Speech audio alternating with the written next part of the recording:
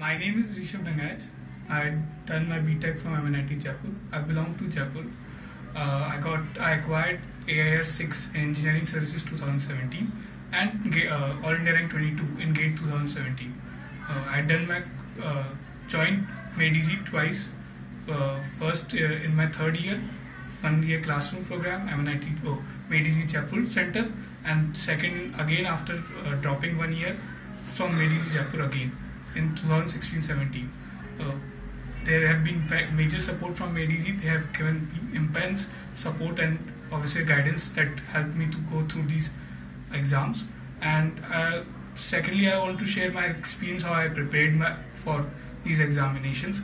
Uh, firstly, I would tell that you should be uh, being focused throughout your exam, throughout your preparation. Should not be moving here than for other exams, small examinations, because your focus should be on an examination. Secondly, I would tell that uh, give importance to test series that is provided by MADEasy, the booklets, the material, because I think the material provided by MADEasy is more than enough. So I've given much more time over them only, over my online test series and offline test series. And thirdly, I would say I've done, I've been uh, doing uh, prepared for three to four hours for my self study. So I give a major portion to self study and especially on the revision. That is much more important.